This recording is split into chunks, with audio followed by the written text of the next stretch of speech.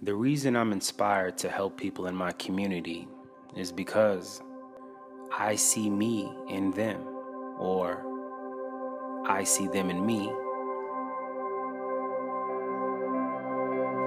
I'm starting to truly understand the idea that we are all connected in a divine kind of way.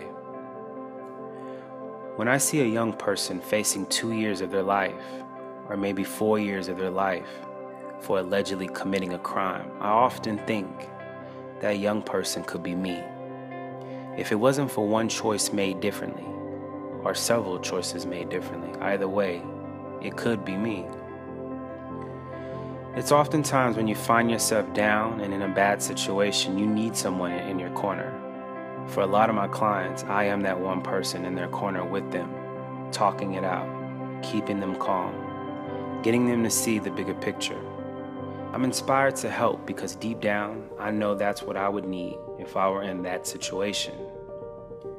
I am inspired to lift my fellow human up because I know, in essence, I'm helping myself in a lot of ways.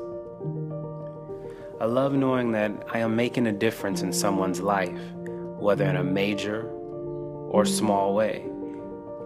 I appreciate my place and show gratitude for every moment, every day. I just want to continue to help people and continue to inspire. My work is my motivation.